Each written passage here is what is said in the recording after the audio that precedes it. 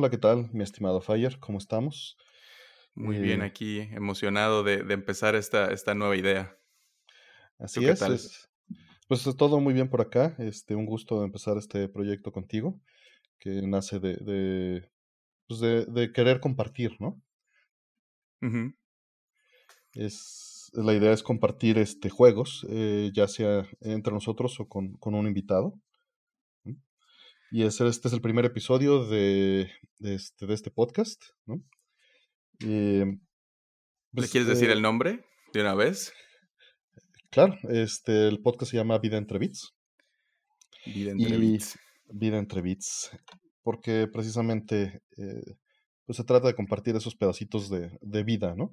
A la vez también, tal vez haciendo un poquito juego de palabras con, con pedazos.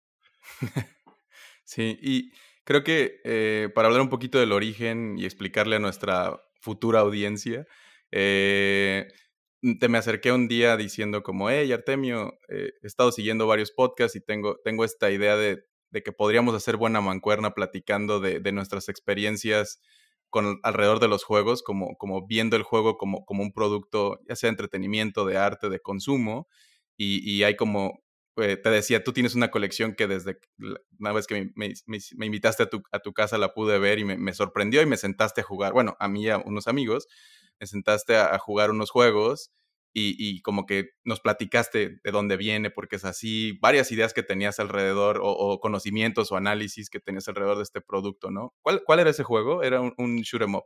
Era un shoot 'em up, era de esta serie de M2 que ha estado sacando, que se llama este, Shoot 'em Triggers, y el juego es Ketsui, que es una leyenda entre shoot 'em ups en este género de, que antes se llamaba shooter, antes de que, de que el first person shooter dominara el mercado, pero en los 80s y 90s, pues cuando decías shooter te referías a un, a un juego de, de disparos de nave con scroll automático, ¿no? Y, y Ketsui es como el cierre de una era de esos juegos. Ya en algún momento quizá hablaremos de él, pero es- esta, esta serie de juegos tiene esta particularidad, o por lo menos la serie que está haciendo M2, de tratar de integrar a jugadores nuevos, ¿no? Y eso era lo que me parecía muy interesante en ese momento, porque es un juego sumamente difícil, Y creo que nos sentaste a jugarlo en un arcade que creo que hasta nos diste moneditas. Este, y luego nos llevaste a jugarlo en un Play 3, creo, o Play En el Play 4. 4, en el Play Play 4, porque 4. esta versión justo tiene la opción de, de un entrenamiento, ¿no? El modo este de entrenamiento. Y, y, y justo no lo hacíamos tan bien, o nos tomó varios intentos como, como agarrarle la, la onda, porque los shoot 'em ups no son juegos muy, muy sencillos. Eh, pero luego nos explicaste esto, y ese símil, como que es algo que se me quedó marcado en la cabeza, ¿no? En, en, en el momento como de, me gustaría tener acceso a, a esas cosas que Artemio sabe. Y luego dije, pero no quiero ser envidioso y no las quiero para mí, ojalá pudiéramos hacerlo para el mundo. Y eso fue como el origen de, platicar contigo esa vez y tuviéramos esta discusión sobre eso. Fue hace como un mes o varias semanas ya. Y, y en, en, este camino de, de, de, decir eso, y es como de repente nos volvimos a hablar y fue como, creo que está muy mala onda decir como, a ver, Artemio, eh, dime cosas y yo estoy aquí escuchando y, la audiencia, ¿no? Es como, ¿qué podemos hacer para intercambiar eso? Y, caímos en este formato de, o bueno, esta idea de, que, que realmente está muy heredada de, de, cuando no cuando tienes tu pareja y quieren comer algo, pero los dos no están de acuerdo en nada y es como, mira, te voy a dar opciones y tú escoge una de esas opciones. Y, y así yo pongo un pool de posibilidades y la otra persona escoge una y, y todos nos... No, si yo puse la opción es porque podría quererla, ¿no? Y, y tú me diste un, unos, este, varios juegos, entre los cuales estaba Katamari Damashi, o Damashi, uh -huh. no sé cómo lo conozco, cómo lo piense la audiencia, pero formalmente es Katamari Damashi. Y este, me brincó más, porque tenías unas cosas medio viejas, interesantes, que, que, que es algo que también me interesaba mucho de, de platicar contigo, como todo lo retro y arcade y todo esto, pero también sentía que podría ser medio, a lo mejor, inaccesible para tal vez el tipo de gente que nos vaya escuchar porque no, por, por cómo nos conozca. Digo, de tu lado tal vez no, de mi lado creo que sí, porque son más nuevos y, y tal vez hasta jóvenes. Entonces fue como, este es un buen punto que no es un juego nuevo, pero, pero tuvo un, un, un regreso, un ajá, un relanzamiento.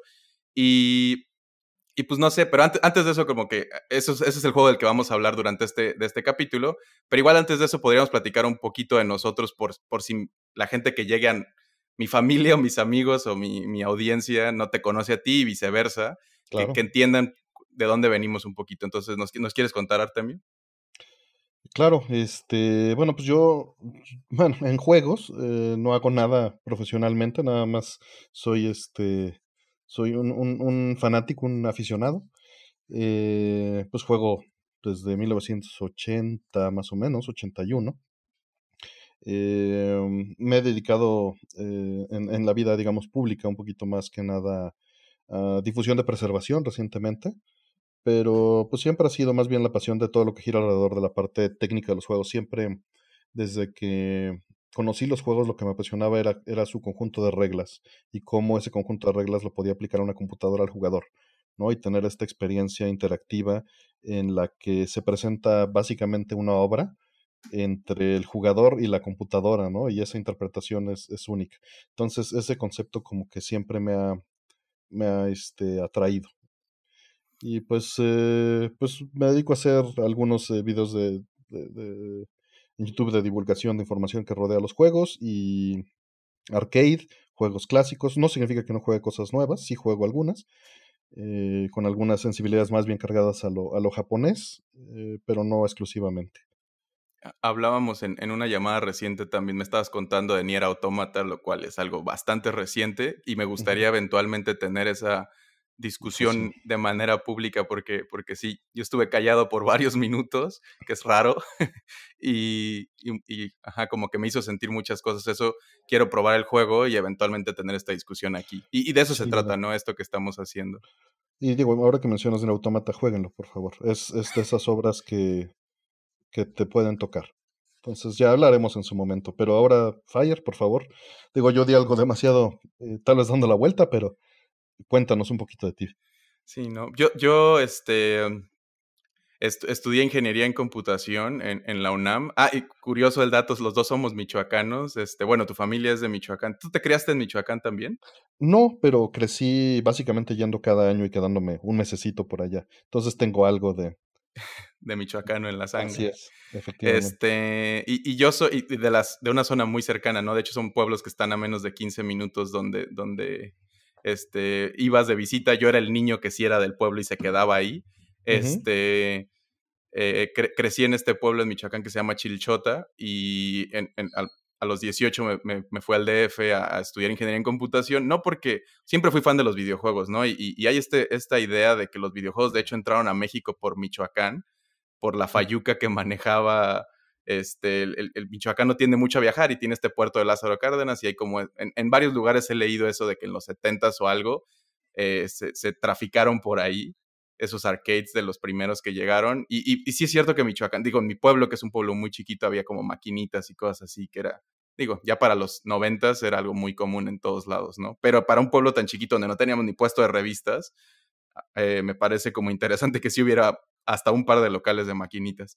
Entonces, eh, tenía como esa inclinación, estudié computación porque era el niño de las computadoras, porque era el niño hacker, no de verdad, pero el que le picaba a las cosas un poquito más allá. Y eventualmente este camino me llevó sí a hacer juegos, más del lado digital, eh, toda mi carrera ha sido en, en mobile, este, usando engines que ya existen, no soy ningún genio, ni siquiera tan bueno como programador, pero lo suficiente para crear cosas este, y probar. Y, fundé una empresa que, que, tal vez algunos conozcan que se llama Hyperbeard, que, hicimos un juego bastante popular que se llama Kleptocats. Eh, y mi carrera desde esta década, bueno, del 2012 más o menos, 11, 12 hacia ahora, ha sido al lado de desarrollo de videojuegos. Este, y, y más que programador, aunque sí lo hago, eh, soy game designer, director creativo y estas cosas. Eh, y, y, también divulgación de, del desarrollo de juegos, ¿no? De motivar a la gente a que lo hagan, justo como, como un niño que creció en un pueblo de, de, un lugar que no es conocido. Digo, México no es conocido por hacer juegos, pero Michoacán no es conocido por tecnología. Este, decir como sí se puede, eh, las herramientas están ahí para todos. Obviamente hay ciertos privilegios de los que he gozado, como que tenía acceso a, a esta tecnología desde muy niño y cosas así, pero, pero es algo que es posible y no nada más se hace en Japón, en Estados Unidos o Canadá o Europa, sino que ya a este momento se está haciendo en todos lados y pues nunca ha sido más fácil. Este, y conforme va avanzando se hace más fácil hacerlo, tal vez no venderlo porque, porque ya está muy saturado el mercado, que en su momento tal vez hablemos de eso, ¿no? Y es un poquito mi historia. Me gustaría, no sé si tú te acuerdas, Artemio, ¿cuándo nos conocimos o cómo Claro, fue? claro, me A ver, acuerdo. cuéntame. Este, estábamos en el Centro Cultura Digital Y, este, y recuerdo claramente que, que, estabas tú platicando con Anoches después de que dimos un par de pláticas. Eh, creo que, digo, no me acuerdo qué fue la plática eh, en particular, o sea, el tema de la, de la convención. Creo que era una cosa de, de, un fin de semana donde tú estabas hablando de cosas de, de la televisión y, y, cómo pasaba el del rendering este, en general. Sí, bueno, no, fue de input lag, pero Ajá. obviamente toco el tema de rendering, que bueno, fue algo que me pidieron muy en particular porque querían ese tema, ¿no? No y no Nano, es que... Nanoches que se llama Oscar, Oscar Toledo. Oscar Toledo. Uh -huh. Ajá, este, se hace llamar Nanoches porque uno de sus claims to fame es que ha tenido uno de los programación, bueno, ha hecho el, el juego de ajedrez en pocos, en pocos bits, Bytes, pocos ajá, kilobytes. Sí, pocos bits para hacer acuerdo. sí, su historia entre bits también está padre, hay que invitarlo un día.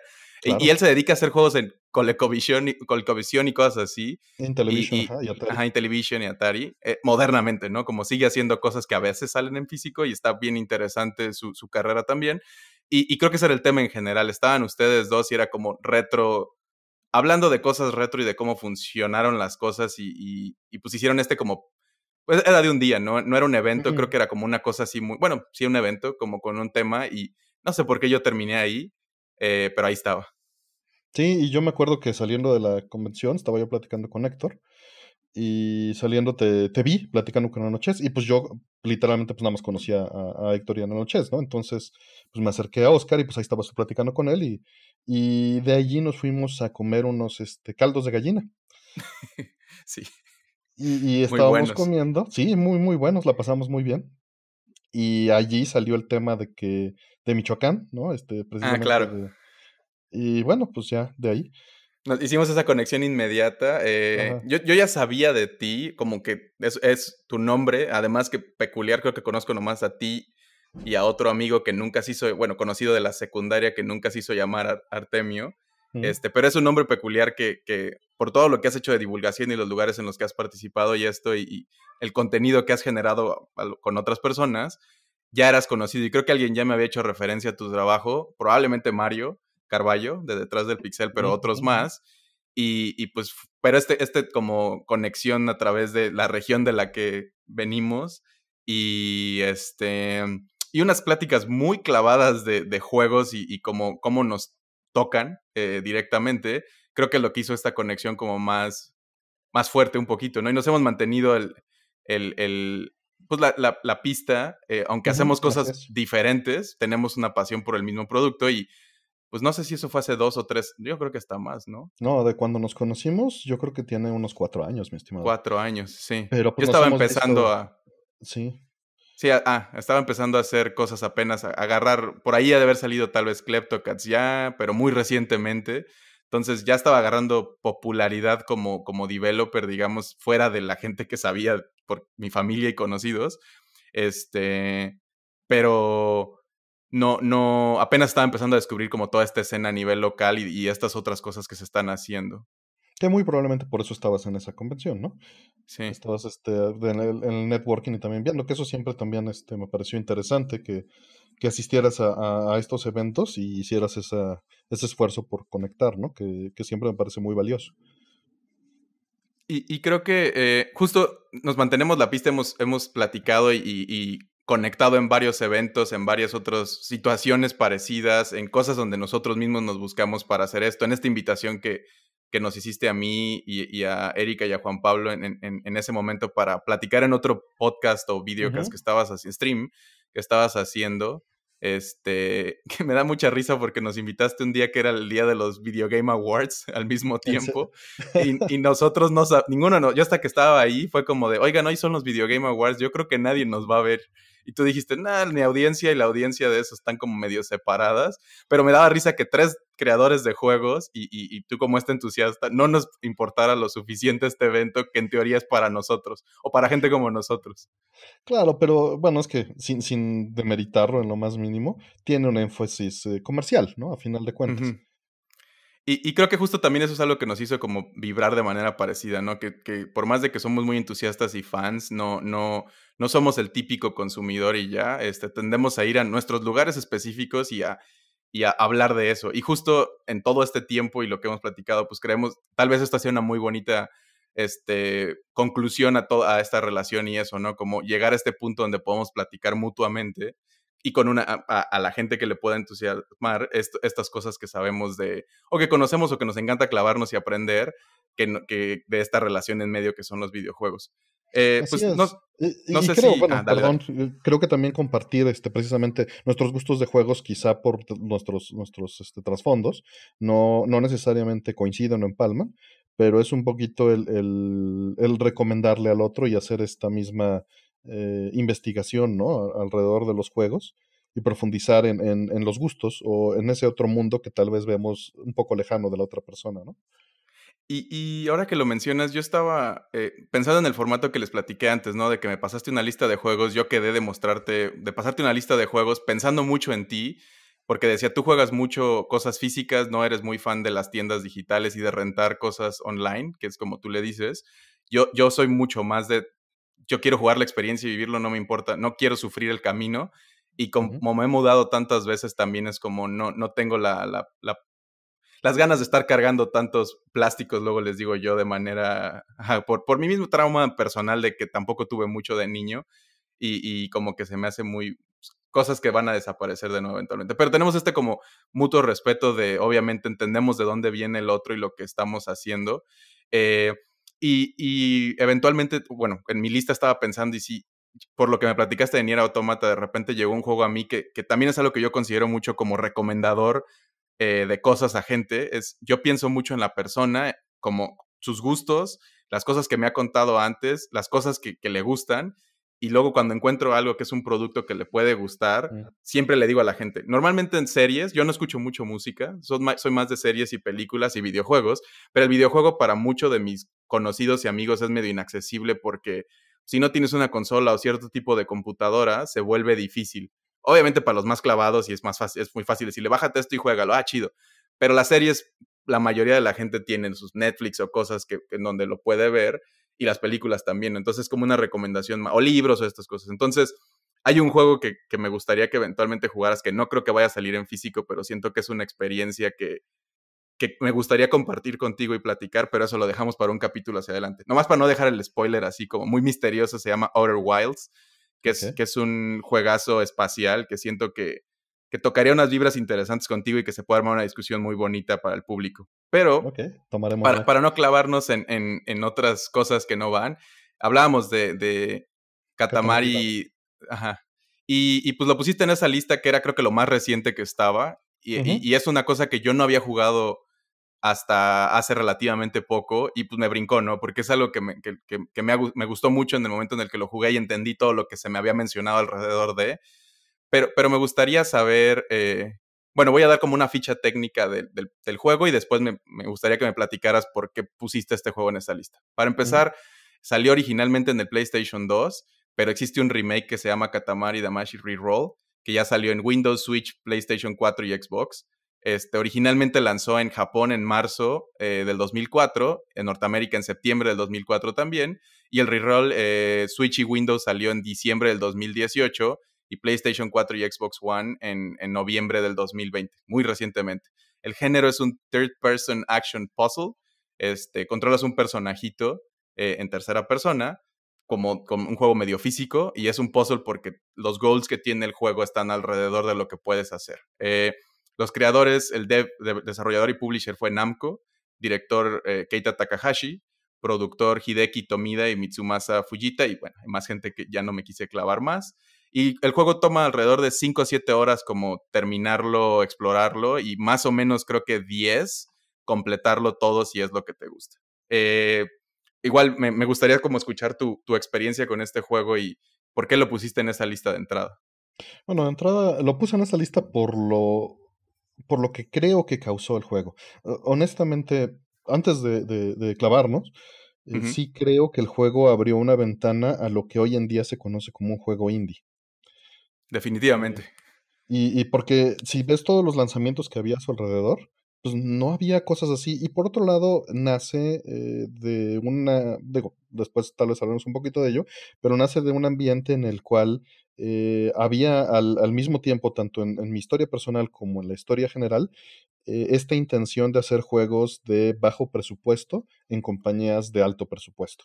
Y bueno, decirle bajo presupuesto a Katamari Damashi es, es un insulto al indie, pero, pero la intención más bien sí era vender un juego de la mitad del precio de un juego este, normal. Y de hecho yo tengo el número, por ahorita que estás hablando de eso, de que costó menos de un millón de dólares hacerlo. el budget estaba en, creo que eran 100 millones de yenes, que en ese entonces eran este, como 650, 800 mil dólares. Y esto era un décimo de lo que le metían a los blockbusters en una compañía como Namco en el momento. Tomó, tomó alrededor de 1.5 años en desarrollarse, ocho de los cuales fueron armar este, el prototipo base y era un equipo relativamente pequeño, aunque sí trabajaron con un, como, no outsourcing, pero con un estudio extra, eh, como fuera de ellos para, para ayudar a solidificar. Y, y, en su momento sí, sí creo que tienes razón en eso, ¿no? Si es, si es un low budget, muy low budget cuando es un décimo de lo que tomaba. Este, y una apuesta bastante interesante. Hablas del contexto, un poquito dices, ¿no? Lo que estaba pasando alrededor 2004, marzo en Japón, este, septiembre en, Norteamérica. Eh, yo no recuerdo mucho esos tiempos. Yo estaba, yo, yo soy relativamente joven en, en, en, en, esto, no, pero en ese entonces estaba yo en la secundaria o prepa y no estaba muy clavado. O sea, fuera de que jugaba cosas y ya, no estaba muy metido en entender esto. Pero, ¿nos podrías dar un contexto del, del momento? Claro, este. Pues de entrada, en ese, en ese momento había eh, varios eh, títulos en el mercado que que pues tal vez suenen un poquito distinto. Estaba saliendo el, remake de Metal Gear Solid, por ejemplo. Tenías este juegos como Gradius 5 todavía saliendo, la colección de aniversario de Street Fighter. O sea, había todas estas cosas. Estaba Mushihime Sama. Eh, Pikmin 2. Eh, pero yo, en particular, estaba en Japón esa semana de su lanzamiento. Por azares del destino, eh, el buen Oscar Noriega eh, me había invitado a acompañarlo a, hacer una serie de entrevistas en Japón, incluyendo a Kojima y, este, y a otras personas, de Team Ninja y otros lugares. El caso es que en las tardes, pues yo me escapaba a Kijabara. y, y, pues me iba a buscar juegos que, que pues no pudiera conseguir. Eh, entre ellos, este, pues, juegos de Saturno y cosas así. Era una Kijabara muy distinto porque era realmente, no había anime como tal, sino había pues, juegos, todos lados juegos, tiendas de ocho pisos de juegos, ¿no? ¿Esta era la primera vez que tú habías que fuiste a Japón o ya había sido antes? Fue la primera vez que fui yo a Japón. Y, por ejemplo, yo fui en el 2016, creo, la primera vez. Y Akihabara, para creo que la mayoría de los que nos puedan escuchar seguro son lo suficiente ñoños o clavados para saber que el Akihabara lo más parecido que tenemos en México es como las friki plazas, pero obviamente en un nivel este, como bien hecho en barrio, ¿no? A nivel, a nivel un barrio lleno de juegos, ahora anime, este, como le dicen en México a veces los monos, monas o monos chinos, que son estas figuritas coleccionables de muy alto nivel de calidad y, negocios y negocios y negocios dedicados solo a eso, ¿no? Y cómputo, ¿no? Cómputo. Y cómputo, tecnología, bueno, hay una plaza en el centro que tiene cámaras y me recibió un robot ahí que también se me hace como, ¿dónde estoy? Pero ¿cuál era la diferencia del Akihabara que tal vez conocemos ahora todos por, o al menos como en idea, a, lo que viste en ese momento? Y a tus ojos de primera vez, me imagino que fue muy emocionante. Claro, pues era, era digo, sí lo, lo vi varios años después, un par de veces más. Eh, y ha cambiado a ser algo más eh, como de la cultura que lo rodea, ¿no? Como dices, eh, a los personajes. En ese momento, aunque sí tenía importancia, era más hacia la tecnología y hacia... las cosas viejas no eran tan viejas, ¿no? Entonces, las tiendas pues lo tenían así como hoy en día tienen un juego de PlayStation 3 un juego de Super Nintendo, para poner una, una, relación de épocas, ¿no? Estamos hablando de 2004, el Super Nintendo tenía apenas unos ocho años de ya no haber estado en el mercado.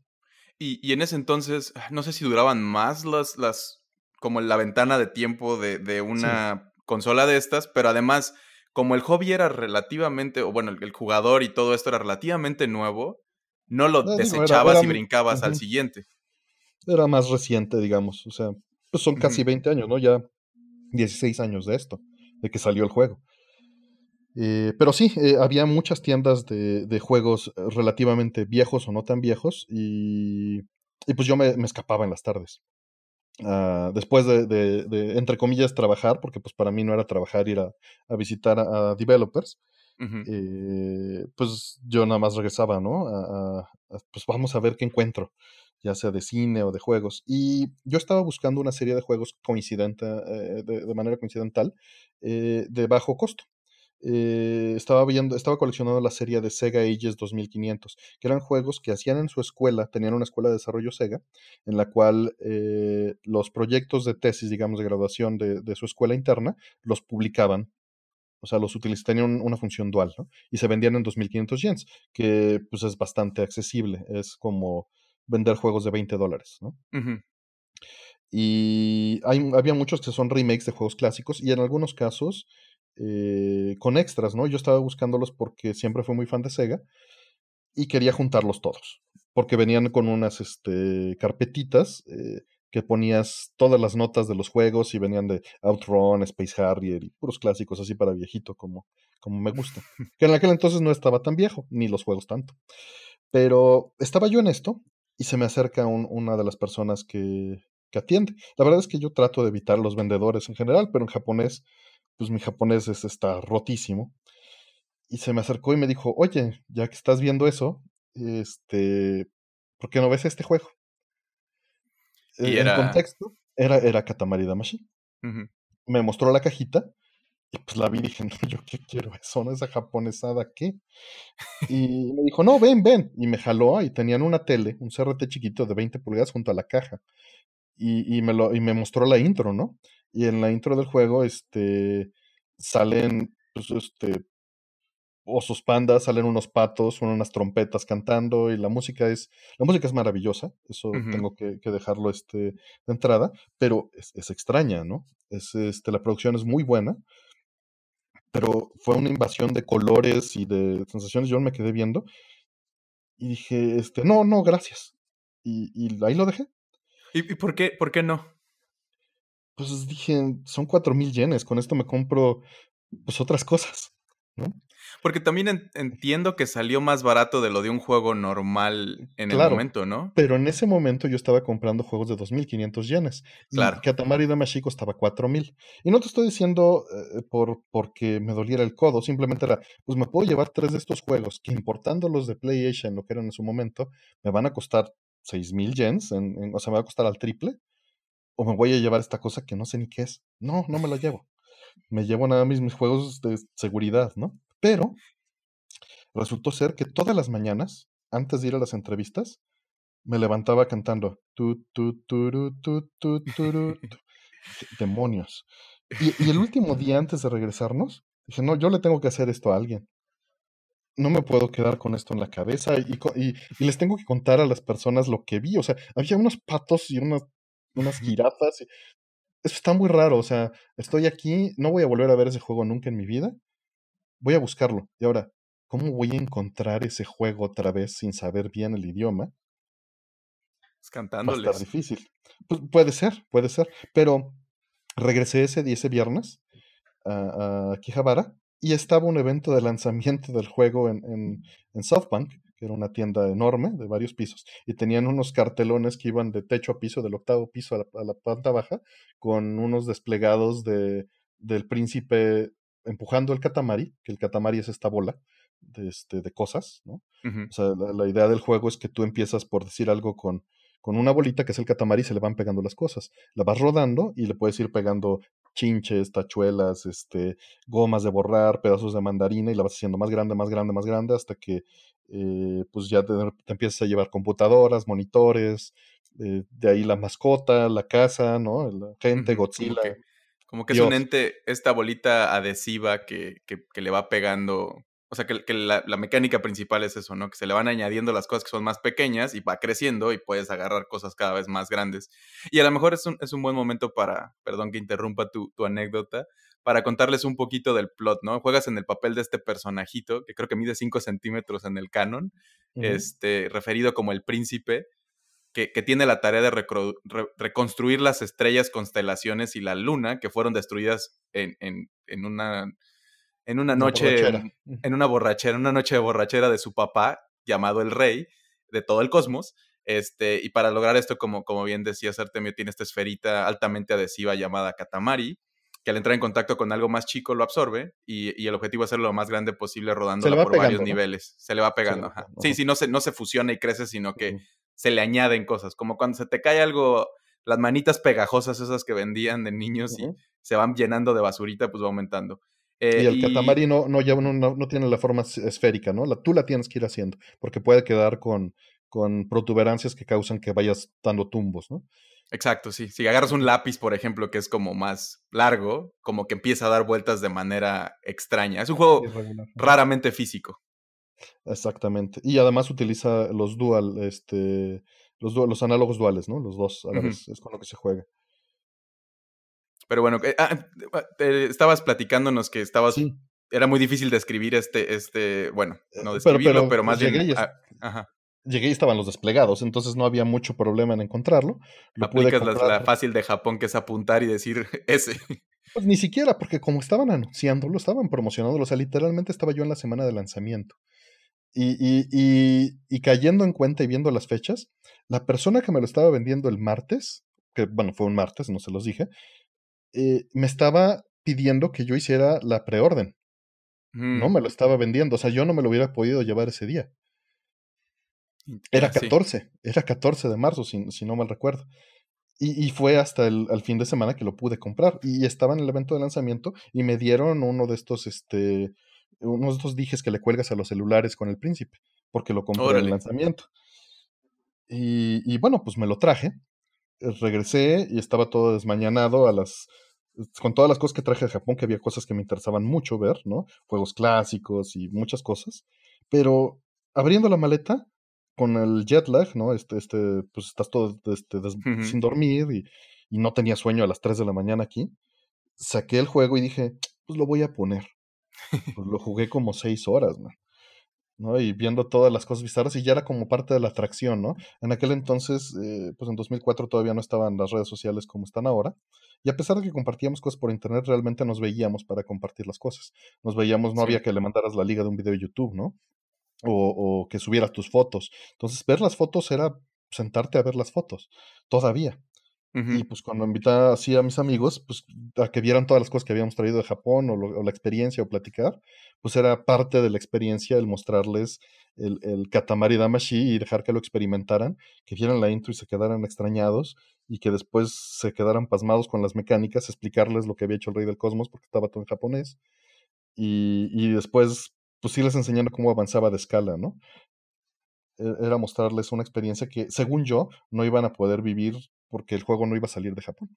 Exacto, justo, justo era lo que estaba pensando, que, que en ese momento no estaba, si es algo bien japonés, ¿no? Dijiste tú al principio cuando lo viste, ¿no? Que es esta japonesada, y si es algo muy particularmente japonés, pero, pero no siento que sea poco entendible para un consumidor, y menos ahora, pero en, su momento bueno, quién sabe, en el contexto igual está difícil, pero es algo muy fácil de agarrar. Tiene una historia además que al mismo tiempo que estamos viendo como esta, la principal, hay una familia que también la estamos siguiendo. No recuerdo, como en un formato de animación medio cómic, este, van contando como esta historietita. No recuerdo mucho diálogo en, sí, o sea, como que es, de hecho, tiene un formato muy arcade. Más en el sentido de...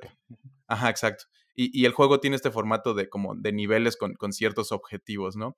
Eh, pero antes, de que avancemos más con Cotas de Katamari, quiero, quiero hacer contar un par de anécdotas también eh, que me recuerda esto que estás diciendo, ¿no? Uno, uno es esa primera vez que yo fui a Japón, eh, me llamó mucho la atención un póster de lo que ahora sé que es este Kimi no Nawa, creo que es la, este, que es, que es esta, Your Name le pusieron en, en, para, nuestro, para nuestro lugar.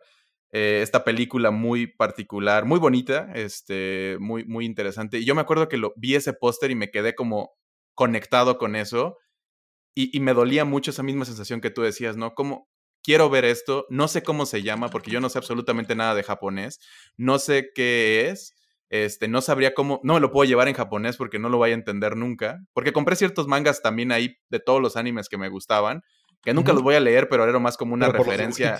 Ajá, exacto. No, y por el ñoño niño yo de que vio Shaman King y no sé qué, y decir quiero tener el número uno de cada una de estas aventuras, para ponerlas en mi librero como un recuerdo padre, porque y además son, son bastante baratos en, en, están 100 yenes creo el, cada uno.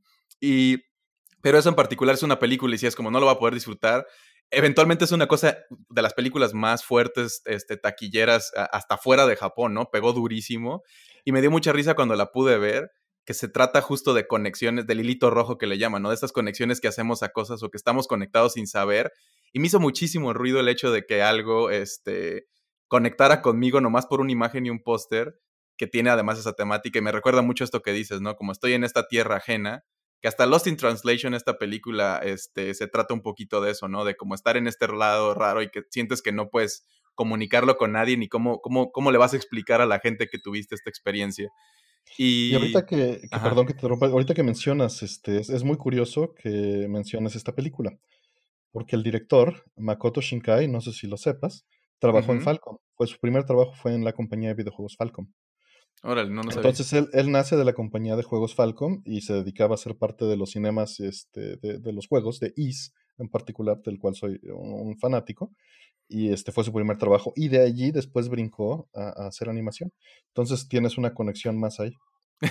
Órale, qué interesante. Estos seis, seis grados de, de separación que luego también tiene esa teoría de ¿no? que todos estamos conectados y, muchas cosas están y justo creo que este podcast en general lo que estamos planeando es eso, ¿no? Hacer estas múltiples conexiones, explorar estos productos un poquito más allá de lo que normalmente es como ah, una cosa que existe, ¿no? Ya sea con nuestras historias personales o, con esto otro. Y en México no se siente ese, o sea, creo que la Plaza de la Computación en la Ciudad de México, etcétera, o, estas friki plazas que ya ahora son más comunes en otros lados, o el mercado de San Juan en, en cerca de, Guadalajara, este, tienen como esas vibras, ¿no? Pericuapa en su momento en el DF o ciertos mercados. Y, pero, yo tuve una experiencia muy parecida a esto de Akihabara en, en Brasil, en Sao Paulo tienen, que es uno de los lugares, es, el lugar fuera de Japón con más japoneses, este Brasil, y tienen este como tipo también, eh, eh, pues barrio japonés, y tipo Akihabara, porque Brasil tiene una historia bien interesante con los videojuegos. Eh, por desgracia, creo que sería muy difícil invitar a alguien y que nos cuente cosas porque no hablan español y es algo que me, duele mucho. Siempre tenemos que hablar en, inglés.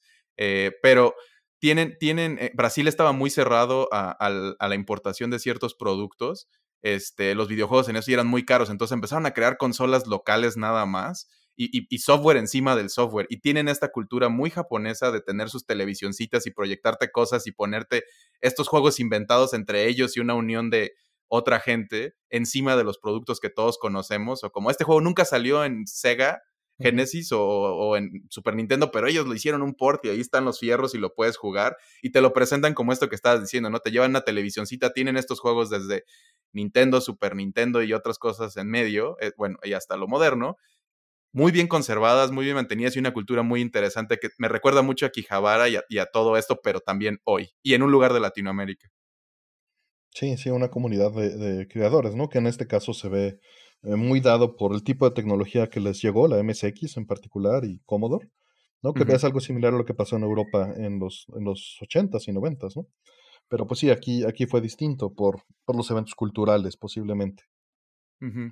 Sí, no nos tocó igual. Ajá. Y volviendo un poquito al, juego, eh, hablabas de que, bueno, a lo mejor no iba a llegar a, Norteamérica, pero hablando en las fechas lo, les dije que, que sí llega, este, seis meses después. ¿Sabes por qué llegó, no? no, a ver, cuéntame. ah, pues porque lo invitaron a presentar, había en GDC un evento como de presentar así un juego que sea curioso japonés, invitaban a algún creador y trajeron Katamari Damashi a su creador a este, al, al GDC, a Keita Takahashi. Entonces, este, él mostró el juego y pues le preguntaron en GDC, oye, ¿y si lo van a traer? Y la gente empezó a hacer presión y pues gracias a eso lo trajeron. Sí, y, que, sí, lo, sí había leído eso de que lo presentó en América sin que existiera en América ni un plan para hacerlo, pero justo la gente sí le gustó y, como que lo exigió, por decirlo de alguna manera. Y, y, no fue un hit, bueno, en proporción a lo que costó y todo eso, sí, sí le fue bien, pero en, su momento como que no vendió tanto como tenían esperanzas de que pudiera vender, pero a la, a la, vez más de lo que hizo. es un sleeper hit, les llaman a estos que, que, no pegan muchísimo de lanzamiento, pero van agarrando fuerza con el tiempo. Me dio un juego de culto, diría yo, tal vez, a estas alturas. Este, y pues pero vendió lo eh, suficiente para la secuela, para garantizar una secuela en menos de un año, ¿no? Y para sacarlo en Estados Unidos. Y, hablando un poquito del, creador, eh, Kate, bueno, del director del proyecto, este, Keita no es este, un. Él no, era de desarrollo, no era de tecnología, él es un artista. De hecho, es escultor de, de, profe, bueno, de estudio. Y, hacia el final de su carrera conoció como los videojuegos y lo contrataron en Namco porque le vieron esta como pues posibilidad, como esta cosa interesante. El hecho de entró como artista, artista, este, Y, de repente como internamente, eh, hablabas de esta escuelita de Sega, ellos también estaban como tratando de seguir esos pasos y de Konami creo también tenía como esta escuelita, por llamarle este espacio interno donde le dejan a gente que no está tan construida en el medio probar cosas y a ver si sale algo interesante, ¿no? Sin denigrar, porque creo que es algo súper importante. Eh, y creo que eh, empezó a hacer algo y dijo, pues es que sí, sí, sí es un medio bien interesante y de hecho creo que ya no regresó nunca a hacer escultura de esa forma porque se dio cuenta que los videojuegos tienen como este potencial de llegarle a mucha gente y, él no, no, era game designer, no se consideraba game designer de hecho porque estaba leyendo y viendo cosas de él donde decía yo soy solo como un escultor y un artista pero pues tengo ganas de llegarle a más gente y, este medio se ve bien interesante y, y justo probó varias cosas, de hecho creo que el prototipo fue desarrollado en el DevKit de GameCube porque en su momento, aunque estaba pensado para PlayStation 2, creo que las herramientas de GameCube estaban ya ahí, eran más amigables y el Play 2 como que todavía estaba muy, pues cerrado, aunque pues, sí, el, lanzamiento tenía como esta, este plan de PlayStation 2 este, por default. Y, Keita, eh, de hecho, como dices, pues siguió trabajando en esto y, construyendo una carrera y esta conexión que tiene como yo leyendo todo esto y, y aprendiéndole más, sí se siente como un juego indie. Este, como dices, el presupuesto es mucho más eh, de lo que hasta modernamente se podría considerar. Ya sería como un doble A o triple I, les llaman a veces, no triple indie o doble A, porque no es un indie, pero no es un doble A, triple El detalle eran los costos, ¿no? De, publicar para PlayStation 2, pues la mayor parte del, de ese dinero se fue en eso, ¿no? En los dev kits y en, hacer todo ese, en producción de, de material, ¿no? E, era un mundo muy diferente y de hecho está bien interesante que, justo en ese entonces funcionaba en eso, pero el remake, el, este, el reroll, lo hicieron en Unity. Exactamente, y eso me parece sumamente curioso, ¿no? Sí, porque no siento que, o sea, digo, lo hace más fácil y creo que es lo que muchos lugares ya están haciendo, ¿no? Como agarrando estas herramientas que ya están ahí, funcionan bien y pues no clavarse tanto en la textura, pero en su momento esto no existía. En, ese entonces, pues era como trabajar con estas cosas súper cerradas, súper costosas y que solo el acceso lo tenían algunos. Eh, creo que también valdría la pena eh, mencionar, bueno, hablamos del formato del juego, ¿no? Que es, que es, algo bien interesante y divertido de jugar, muy accesible, aunque no hablaras japonés, creo que es muy fácil explicarle a alguien rápido y que lo agarra y se divierta, ¿no? Es, es, es algo muy físico eh, con controles medio extraños. A mí, a mí no me gustó mucho el, esquema de los controles. Este, y, por físico me refiero con esta física peculiar como este, Loco Roco en su momento, ¿no? También. Eh, en los indies o Getting It Over with Bennett Foddy. Este, que son estas cosas que, que manejan una física tratando de ser realista, pero medio wonky de alguna manera, como que juegan con eso. Y no sé qué tú opinas de los controles, de cómo se controla. A mí me costó mucho y me, frustra todavía a veces. De hecho, ya te permiten cambiarlos, pero, pero aún así me lo sufro. ¿Con qué control lo jugaste? Digo, eso me parece interesante. Creo que en el Switch, que es donde yo lo jugué, este, no sé si te forzan o de entrada vienen los, los con giroscopio. Que no es la mejor manera en, el Switch no, no está tan fino, creo, al menos en mi experiencia, no me gustó tanto.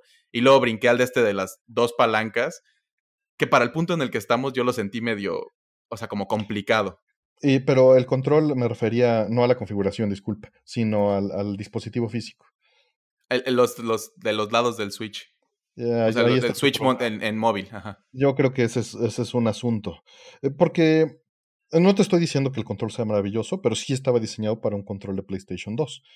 Eh, por la disposición de, de dónde están ubicados, ¿no? Comodidad era para que no tocaras todo lo demás. Y, creo que el tamaño sí tiene también un, factor de, cómo se siente. O sea, yo creo que sí te pega un poquito jugarlo en Switch a cambio de jugarlo, por ejemplo, en un Pro Controller de Switch, creo que es más adecuado.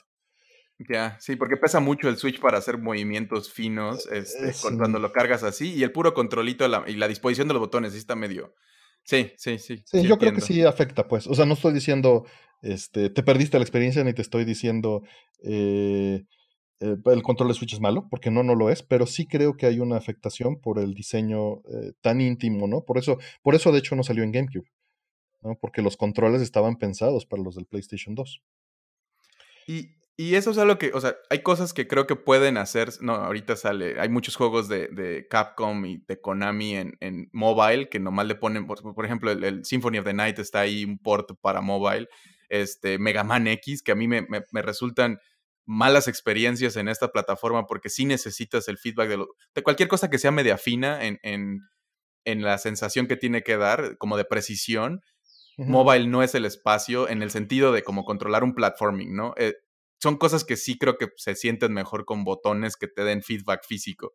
Y en este juego creo que en particular no le duele mucho. Está raro el control y, y, me, me, queda muy claro que estaba pensado en su momento para eso. Como era, es un artista el que estaba, o sea, como artista elevando, no nomás como hace arte, sino como, como la expresión misma, ¿no? y, siento que estaba jugando mucho con el medio y eso me parece increíble y, muy bueno. Este, pero en el Switch siento que este port, como tratando de ser muy respetuoso con el origen, a veces sí hay que hacer esa chamba de repensar. Y bueno, te dan la opción de cambiarlo, lo cual es, ya escoge tú como sea. No se siente viejo, de hecho, se, se, ve y se siente bien. Este, la historia sigue funcionando y yo creo que ahora es, mucho más bienvenido en general porque ya existen varias cosas parecidas, ¿no? Este, como, hasta como un estilo de género, como esas cosas quirky y medio raras. Sí se siente muy japonés de origen, pero, pero hemos visto muchas cosas que, ya llegan a lugares parecidos. Y, y, no, a mí, a mí, me parece como, como dices tú, un, un, influenciador o motivador a que mucha otra gente pensara en, en, hacer productos de este tipo. Sí, sin duda, creo que dio la, la, apertura, ¿no? De que había un mercado para algo así. Eso, eso me parece muy importante, de un producto, este, no necesariamente relacionado al costo, sino al diseño, ¿no? Porque va orientado a un público más general, menos, menos clavado, como, como dijiste, aunque el juego pues, te permite clavarte hasta donde quieras, ¿no? Pero e, es, eh, digo, este, siguiendo este mismo espíritu de Namco de perseguir, eh, como Pac-Man persiguió ampliar los grupos y tener conceptos detrás, eh, Katamari Damashi hizo más o menos lo mismo, ¿no? Y, eso me parece sumamente interesante. También, de hecho, recuerdo que que por esa época este Saucedo de Atomics, él, estaba el editor en jefe, me invitó a, a, hablar de Metal Gear Solid. Y, por alguna razón llevé Katamari Damashi. Y eso causó que terminara, eh, no sé si porque lo platicamos con Oscar o no, terminara en portada de Atomics cuando salió eh, en, versión americana, ¿no? Y eso este, pues me dio mucho gusto, porque a final de cuentas este, terminó haciéndosele más difusión por alguien, por Saucedo, que, que, este, que fue un gran fanático del juego, ¿no? Sí, y, y, justo como que sí lo recuerdo mucho. O sea, es, es, muy, se te pega en la cabeza, ¿no? Y es una de las cosas que un, juego puede hacer que, que, lo hace muy relevante y, y, muy importante, ¿no? Que le llaman el hook en marketing, como esta cosa que te atrapa y no te suelta.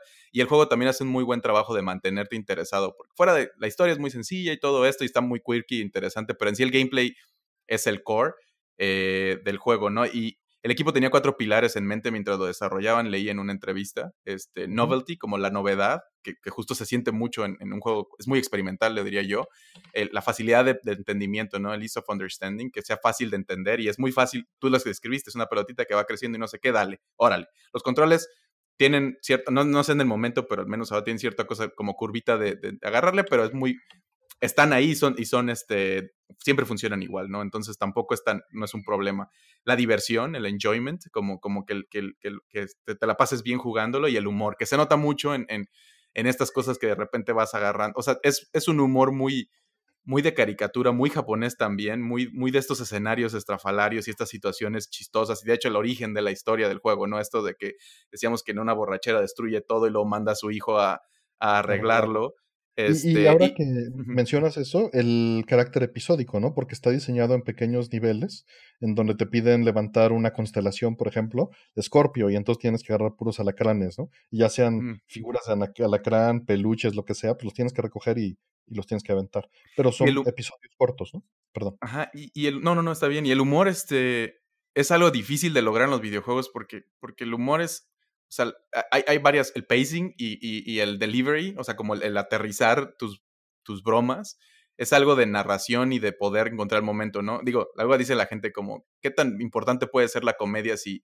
si ningún chiste es, es, o sea, nunca vas a escribir algo tan, tan gracioso como alguien que se tropieza y se cae, este, o cosas así, ¿no? Que lo, tenemos estas cosas internas psicológicas que nos dan risa, situaciones raras.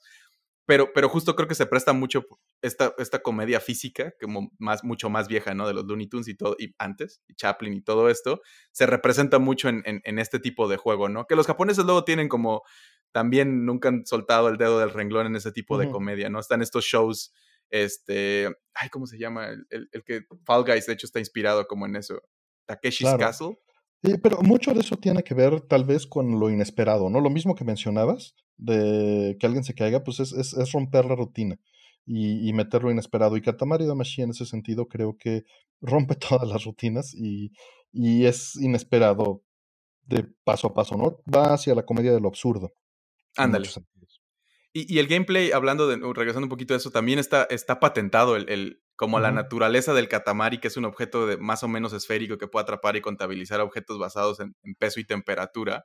Eso es una patente que, registraron, que yo no soy muy fan en general de que, y me gusta que los videojuegos en sí no puedan, hay cosas que sí, los nombres, los personajes, etcétera, que 100% de acuerdo que deberían de poder registrarse. Hay, hay, que separar las cosas. Una cosa es la patente y otra cosa es el, registro, ¿no? Y la patente es mucho más benevolente en ese sentido porque eh, tú en teoría estás dejando que se utilice tu invención eh, por cierta cantidad de años a cambio de dinero y después de cierta cantidad de años lo entregas al dominio público. En cambio, el copyright o los registros, esos son básicamente de por vida, ¿no? Eh, porque son a 100 años, una cosa así, y la puedes estar renovando. Entonces sí son cosas distintas. Estoy de acuerdo contigo en que es mejor que no suceda, pero por lo menos la patente es un poco más benevolente. Busca el, entregar de regreso al dominio público. Ah, muy bien. Sí, no, y creo que es importante hacer esa distinción. Eh, hay muchas otras cosas que han sido patentadas en, en, tecnología, obviamente, y, y, en los juegos. De hecho, hace poco, recuerdo, un par de años hubo un jam de hecho creo que era Namco quien tenía esta patente, porque las compañías al final es una de las cosas Namco le encanta patentar. No, y los valores de muchas de estas compañías es eso, sus patentes, eh, sus productos, sus, propiedades, y las patentes son una de esas propiedades que tienen un valor más allá de, solo haber hecho algo que vendiera, ¿no? Y, tenían esta patente de hacer juegos, creo que sí era Namco, que hacer juegos en las loading screens, que, que lo, no sé en qué momento lo pusieron y lo mantuvieron y luego ya se les venció. Son 20 años. Ajá, y se les venció, hicieron un jam, la banda indie desarrolladora, como de vamos a hacer juegos en loading screens porque ya podemos. Eh". Y justo, digo, a lo mejor si no lo hubieran hecho, no sé si se le hubiera ocurrido, si se hubiera usado, pero no me gusta pensar en esos mundos donde no puedes hacer algo o innovar o crear encima porque alguien ya había guardado eso. Pero bueno, creo que como dices, hay, espacio ahí. Se me hizo muy curioso porque rara vez con, o, bueno, no llevo, en tecnología, en, soft, en hardware, creo que es diferente, pero digo, y también pero hay en software pero en software se me hace como algo Sí, como si, si, Mario patentara el platforming y, nadie, y no pudiéramos hacer platformings nadie más por mucho tiempo, sí siento que le harían un daño muy... Claro, pero las cosas, este, digo, ya nos estamos desviando, pero las cosas no pueden ser así. Una patente tiene que ser muy específica. Claro. No puede ser de un concepto, ¿no? Tiene que ser una forma de hacerlo. Y puedes siempre buscar formas alternativas. Sí, claro, definitivamente. Donde hay unas, las ganas de hacer algo, siempre hay la forma, ¿no? Y, creo que, eh, volviendo un poquito a lo que decíamos de Keita y como que se siente muy indie, mm, recientemente ha estado trabajando con partners de ese tipo, ¿no? Este, eh, trabajó con, con, este, se llaman, ay, se me olvidó su nombre. El juego se llama Watam y lo estaban haciendo con, con mm, Funomena, creo se llama el estudio, este, y lo publicó, Anapurna, que es un publisher muy artístico. Y entonces me gusta como es el lugar perfecto para alguien como, como Keita y un partner muy bueno también, este, Funomena, eh, que, tienen como este espacio donde sí puede brillar. No es nomás por hacer dinero y etcétera, sino sí buscan creadores más artísticos que tengan una opinión y que estén haciendo un producto. Y Keita en particular, después trabajó en más Katamari, pero luego hizo Novi Novi Boy, que también es, un, es una cosa como muy física, como de gusanitos trabajó con un equipo que no nos sabía que él había trabajado, que en retrospectiva es muy obvio. Es un juego que se llama Alphabet, que era una de estas apps que también en su momento fue muy sonada, ganó un premio de diseño de Apple. Este, que es nomás jugar con, el, con cada una de las letras. Parece muy para niños y tiene como quirkiness muy, muy japonés eh, y, y, recientemente Watam. Y, y, él tiene un artículo, bueno, hay un artículo alrededor de él que se llama la, The Negativity of este, Keita Takahashi, que lo escribieron eh, hace un par de años, con una pequeña entrevista después de un E3 de haber mostrado Watam, donde él decía que le da mucha tristeza que ya sabe que hay una audiencia y es muy obvio que están haciéndose juegos como los que él hace, pero dice que sigue sin ser algo como muy viable y muy fácil de sostener hacia adelante y que como que le, siempre lo va a seguir intentando y le gusta mucho experimentar en este espacio, pero que cada vez lo siente más difícil porque porque sigue siendo costoso, como decíamos, ¿no? Es para un indie bien, pues sí es un budget muy grande, pero tampoco anda la gente regalándote millones de dólares así por así. Y, muy experimental y, sigue siendo como hit and miss, ¿no? Hay muchas cosas muy interesantes que pasaron desapercibidas en este espacio y otras que ganan ruido. Entonces, como que la, de la negatividad de lo que habla en este artículo es un poquito como, como que sí es medio pesimista a veces, pero no va a dejar de hacer las cosas. Eh, hay algo más que, me, gusta de su enfoque, ¿no? Que, que originalmente sus juegos están basados en la realidad, pero siempre le cambia la percepción. Y creo que eso este, me resulta interesante, ¿no? Porque lo, lo, ya sea cambiarlo de, de, escala y de repente nada más hacer algo absurdo, y ya con eso queda un mundo interesante, ¿no? Y sí, que es algo, siento yo que de repente es muy, muy japonés eso, como muy, muy mundano, muy tradicional en algunas partes, pero exageradamente raro y extraño en otras. Eh, de hecho, fue, fue en 2012 creo que fue añadido a, una exhibición de, en un museo de, el Museo de Arte Moderno en Nueva York, que se llamaba Century of the Child, Growing by Design, este, que se ponían juegos que demostraban juguetes, juegos, algo así, platings les llaman, que sobre el siglo XXI, este, y, le dieron como mucho, hablaron muy bien de este producto al mostrarlo ahí, por como su manipulación curiosa de escala y que lo hace muy accesible para muchas edades. Eh, y se me hace como, como una digna cosa de un proyecto así. Como dices, sí se nota como una diferencia en este producto y en la curiosidad de sus creadores y el equipo que lo hizo. Un arriesgue de, extraño de Namco, que es menos dinero, de Tomos es algo que no garantizaba que iba a regresar la inversión. Este, y, yo soy muy fan particularmente, y por eso lo escogí también en este momento, ¿no? Como que es esa, esa unión de, tal vez nuestros universos de lo que consumimos, que me parece como muy interesante. Y como decías, creo que lo único que yo tengo en mis notas, además de todo lo que ya hablamos, es, tiene un soundtrack increíble. Este, El soundtrack es maravilloso. todos los tracks creo que son muy buenos. Sí, y es un, es un eh, no sé si, si te metiste a, leer más, pero es un, es un jazz como con samba, este, con voces, que es raro en los videojuegos tener soundtrack con, con vocecitas, porque, ajá, normalmente eran chips que no lo podían hacer y eventualmente pues ya tienes estas libertades que te permiten meterle esto. Eh, y, tiene como mucha gente popular, creo que hasta había, eh, en el momento como de, de J-Pop obviamente y así, pero, pero creo que recuerdo que alguien me comentó una vez, porque hay un libro allá afuera de, de esta colección de medio libros clavados que se llama Boss Fight, eh, de, de Katamari, y, creo que había como un cantador, un cantante como de jazz japonés muy famoso, viejo, que, también prestó voces o algo así, o, actores de doblaje en el bueno, de, de, voces de, de, anime y así también prestaron voces, pero está muy interesante, muy pegajoso. Sí, sí, es, es muy bueno, es excelente para, para escuchar que en cualquier momento, de hecho era algo que traía en el, en el coche, ¿no? Y algo que en varios viajes este, terminé usando y funciona muy bien. Muy alegre. exactamente, era el punto que iba. Es, es raro que yo escuche música alegre en general. O sea, que sea tan alegre como esto, honesta y frontalmente lo es. Pero la vibra es, es, es no sé, es relajada y alegre a la vez, no, no forzada, ¿no? Me gusta mucho, me gusta mucho y además está muy bien grabado.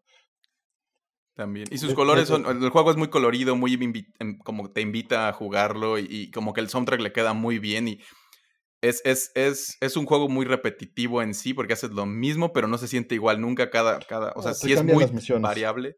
Además de que cambian las visiones, tú puedes jugar al mismo nivel y, le vas a dar muy diferente, ¿no? Como que no hay manera de recorrerlo de la misma forma, aunque estés tratando de eficientar para hacerlo muy bien, este, hay como movimientos, está, está muy interesante. Si no lo han jugado, la verdad es que vale mucho la pena. Es algo que no se puede arruinar con spoilers o algo así. La realidad es que es algo, muy de feeling, ajá. Y hay secuelas, ¿no? Hay secuelas, este, está la segunda parte que se llama Will of Katamari, en, japonés se llamaba Minasan Daisuki Katamari Damashi, y salían todos los empleados de Namco afuera de la empresa abrazando un Katamari, ¿no?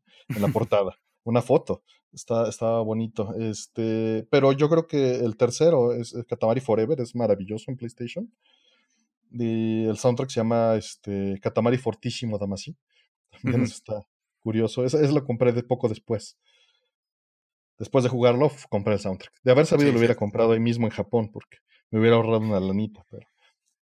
Sí, claro. No, y creo que es una de esas cosas que, que o sea, creo que ya todo mundo reconoce como el personaje. Hay mucho este, branding alrededor, ¿no? En ropa, en, en, juguetitos, en cositas. Y, y, es una de esas cosas bonitas que, que, ha salido y que igual no existen tantas cosas alrededor de, pero, pero sigue teniendo su espacio. Y yo sí siento que es un, es un pues si no un parteaguas, al menos un otro paso más a eventualmente este mundo de los indies y de, darle fuerza a los creadores, de hacer cosas más extrañas. Este, y es, es, es medio extraño eh, eh, de muchas maneras, pero a la vez es como muy, es, es, no sé, se siente muy bien y está muy bonito. Es, es, un, es un juegazo, la verdad. Sí, y lo pueden conseguir hoy en día para plataformas actuales. Entonces, hay, si les interesa, pues hay mucho de dónde escoger y yo creo que vale la pena para, para darle una, una rodada, básicamente. Exacto. Y pues creo que eso es todo, ¿no? De, bueno, al menos de mi, mi Terminots y todo, yo no tengo nada más. ¿Tú también? También estoy, estoy bien. Ok, pues creo que lo dejamos por aquí. Él, dice que es más o menos una hora. Este, no, no, queríamos que fuera tan largo, pero igual creo que está del lado digerible todavía. Eh, este es lo que estamos tratando de hacer, es, es, hacer estas conversaciones que vayan un poquito más allá y cuenten eh, ya sea nuestras historias personales alrededor del producto o de los creadores del producto o de lo que estaba pasando. Y esperamos en, el futuro tener invitados eh, y, agarrar proyectos o, juegos este, pues que nos vaya recomendando la audiencia también, ¿no? El, fin, el chiste de esto es, eh, de, este podcast que se llama vida entre bits, es como mostrar este, nuestro, nuestra pasión por este medio, ¿no? Y, encontrar como todas estas cositas interesantes alrededor. Esperamos que les haya eh, gustado. No sé si, si quieras decir tus redes sociales, Artemio. Eh, claro, este, en Twitter es Artemio. Y este, todo, todo el material de lo que trabajo este, está de preservación o de software para consolas viejas, está en junkerhq.net. Pero bueno, todo eso viene ligado ahí desde, desde Twitter Diagonal Artemio, o al revés, ¿no? Ahí viene todo. Tú, mi estimado Fire, bueno, antes que nada, darle muchas gracias a, la audiencia por habernos escuchado y esperamos que nos sigan acompañando. Eh, ya iremos eligiendo otros juegos y iremos alternando dinámicas. Eh, y bueno, pues muchas gracias, antes que nada. Gracias. Este, sí, y yo, pues arroba fire-tony en Twitter e Instagram, que son donde más estoy en redes sociales, y espero pronto tener una página también que centralice las diferentes cosas que ando haciendo eh, pero ahí en Twitter es donde pueden, es donde más comunico cosas. Y pues sí, muchas gracias de nuevo por escucharnos hasta aquí. Esperamos les guste. Coméntenos, díganos cosas. Digo, esta plataforma, si están en las partes más de podcast, no, no es tan fácil, pero en nuestras redes sociales díganos qué piensan para irle dando forma también con respecto, encontrar ese punto medio entre la audiencia y nosotros para, para seguir haciendo esto padre. Y pues nos, nos escuchamos a la próxima, ¿no? Así es. Hasta pronto. Hasta pronto.